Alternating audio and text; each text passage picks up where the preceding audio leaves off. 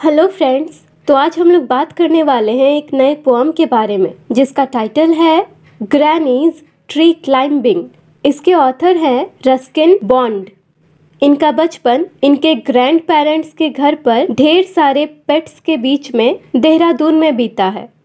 इस पोअम में Ruskin bond ने अपनी ग्रैंड मदर के बारे में बताया है। तो चलिए शुरू करते हैं इसे।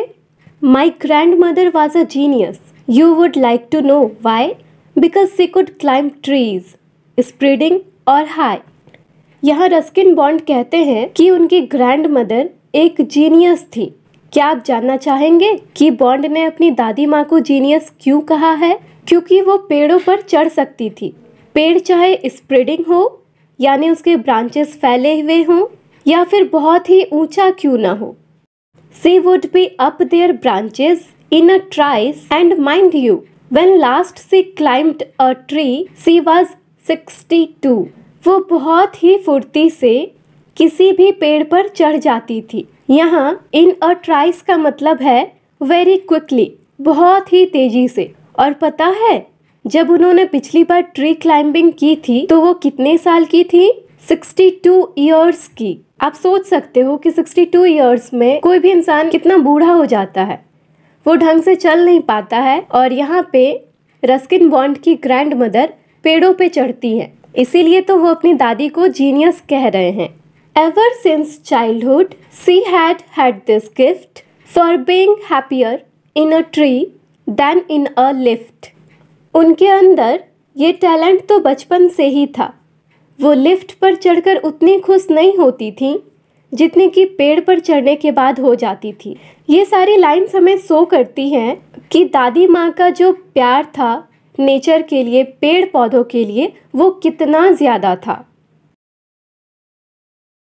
And though as years went by, she would be told that climbing trees should stop when one grew old. फिर जैसे जैसे साल बीतते गए मतलब जैसे जैसे वो बूढ़ी होती चली गई उनसे कहा गया कि उन्हें पेड़ों पर चढ़ना छोड़ देना चाहिए क्योंकि अब उनकी उम्र हो चली है and that growing old should be gone about gracefully should laugh and say well I grow old disgracefully gracefully मतलब एक इज्जतदार तरीके से, अच्छे मैनर में। और डिस्क्रेसफुली मतलब ग्रेसफुली का अपोजिट तो सारे लोग उनसे यही कहते थे कि अब आप बूढ़ी हो रही हो तो पेड़ों पर चढ़ना छोड़ दीजिए। इस उम्र में ये सब शोभा नहीं देता। लोग आपका मज़ाक बनाते हैं कि देखो, ये इस उम्र में भी पेड़ पर चढ़ जाती है। आपको पूरे रेस्पेक्ट के साथ बूढ़ा होना चाहिए। मतलब उनके आसपास जितने भी लोग थे, उनके फैमिली मेंबर्स सारे लोग उनसे यही कहते थे कि आप पेड़ पर चढ़ना छोड़ दो। ये आपके लिए अच्छा नहीं है। लेकिन इन सारी बातों का उन पर कोई असर नहीं होता था। वो हँसते हुए उन सारे लोगों को जवाब देती है और कहती है वेल well, मैं डिस्ग्रेसफुली बूढ़ा होना पसंद करूँगी पर पेड़ पर चढ़ना नहीं छोड़ूँगी। मतलब बस उनका मानना था कि लोग चाहे जो कहें पर वो अपने शौक को नहीं छोड़ेंगी। I can do it better and we had to agree for in all the garden there wasn't a tree she hadn't been up at one time or another Ruskin Bond की ग्रैनी पेड़ पर चढ़ने का काम ही better कर सकती थी और बाकी सारे लोगों को उनकी ये बात माननी पड़ती थी। वो कहते हैं ना कि बचपन और पचपन एक समान होता है। तो जैसे हम छोटे बच्चे की हर एक जिद पूरी करते हैं, उसी प्रकार हमें बूढ़े लोगों की भी हर एक जिद पूरी करनी पड़ती है। आगे रस्किन बॉन्ड कहते हैं कि उनके गार्डन में एक भी पेड़ ऐसा नहीं होगा जिस पर उनकी ग्रैंड मदर कभी चढ़ी ना हो कभी न कभी वो हर एक पेड़ पर चढ़ चुकी हैं। Having learned to climb from a loving brother when she was six, but it was feared by all that one day she would have terrible fall. Grand mother ने पेड़ पर चढ़ना अपने भाई से सीखा था जब वो मात्र छह साल की थी लेकिन अब तो वो बूढ़ी हो चुकी हैं और सबको ये डर लगा रहता था कि अगर वो ऐसे ही पेड़ पर चढ़ती रही तो एक दिन बहुत बुरी तरह से गिरेंगी। The outcome was different while we were in town she climbed a tree and couldn't come down लेकिन आउटकम कुछ और ही था। मतलब उन लोगों ने जैसा सोचा था कि एक दिन उनकी दादी माँ पेड़ पर से गिर जाएँगी, ऐसा नहीं हुआ, बल्कि कुछ और ही हो गया। एक दिन जब बाकी सारे लोग टाउन में थे तो दादी माँ उनके पीछे से पेड़ पर चढ़ तो गई, पर नीचे ही नहीं उतर पा रही थी। We went to the rescue and then the doctor took granny's temperature and said I strongly recommend a quiet week in bed जब दादी माँ पेड़ पर से उतर नहीं पा रही थी तो वे सारे लोग वहाँ पे गए और जाकर उनको रेस्क्यू किया। मतलब उन्हें पेड़ पर से नीचे उतारा, उन्हें बचाया। फिर डॉक्टर को बुलाया गया। उन्होंने उनका चेकअप किया, उनका टेम्परेचर चेक किया और कहा कि मैं स्ट्रांगली रिकमेंड करूँगा। मैं ये सलाह दूँगा कि एक वीक तक ग्रैंड मदर बेड से ना उठे। We sighed with relief and tucked her up well poor granny for her it was like a brief season in health फिर सारे लोगों ने राहत की सांस ली। चलो, ज़्यादा कुछ तो नहीं हुआ, और अब कुछ दिन शांति से आराम तो करेंगी दादी माँ, और उन्हें अच्छी तरह से चादर से ढककर सुला दिया। लेकिन, बेचारी दादी माँ, ये एक विक तो उनके लिए ऐसे बीतने वाला था, जैसे कि वो एक मौसम नर्क में बिताकर आई हूँ।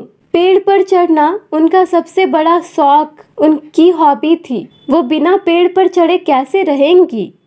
Confined to her bedroom while every bridge whispered of summer and dancing leaves, दादी माँ जैसे तैसे अपना एक वीक बेडरूम में गुजार रही थी। रस्किन बॉन्ड अपनी दादी के बारे में सोचते हैं कि जब ठंडी ठंडी हवाएँ चलती होंगी और पत्तों की सरसराहट की आवाज़ें ग्रैंड मदर के कानों तक जाती होंगी तो उन्हें कैसा फील होता होगा?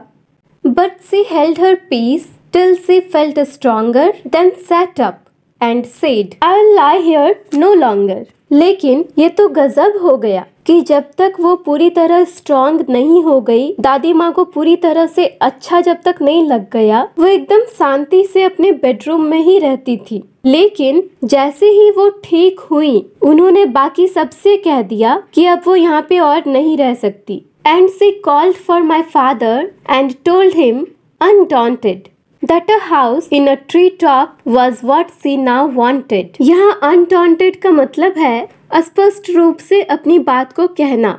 तो जैसे ही दादी माँ ठीक हुई, उन्होंने रस्किन बॉन्ड के पापा यानी अपने बेटे को बुलाया और उनसे क्लियरली और बोल्डली कह दिया कि उन्हें पेड़ पर रहना है, इसलिए उनके लिए पेड़ पर ही एक घर बना दे। अब भाई पेड़ पर कोई घर कैसे बना सकता है?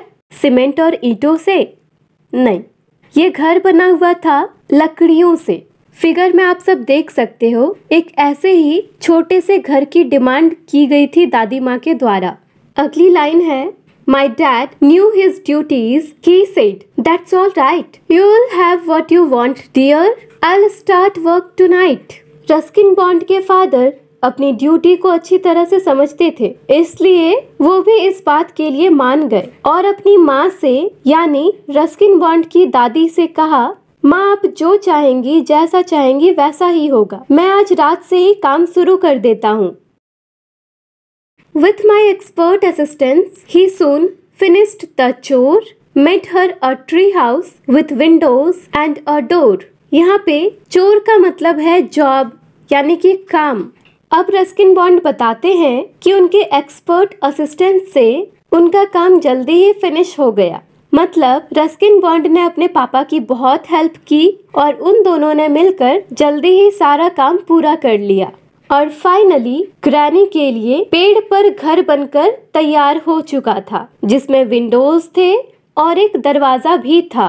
So granny moved up and now every day I climbed to her room with glasses and a tray अब ग्रैनी बहुत ज़्यादा एक्साइटेड थी, बहुत ज़्यादा खुश थी और वो अपने नए घर में सेटल हो चुकी थी। रस्किन बॉन्ड भी हर रोज अपनी ग्रैनी के पास कुछ ड्रिंक की ग्लासेस और ट्रे लेकर उनके पेड़ पर बने नए घर में जाते थे। She sits there in state and drinks sherry with me upholding her right to reside in a tree यहाँ इन स्टेट का मतलब है इन ग्रैंड स्टाइल एकदम राजा महाराजा की तरह। और शैरी एक तरह का वाइन है। तो ग्रैनी अपने नए घर में एकदम महारानी की तरह रहती थी। रस्किन बॉन्ड के साथ सेरी भी पीती थी।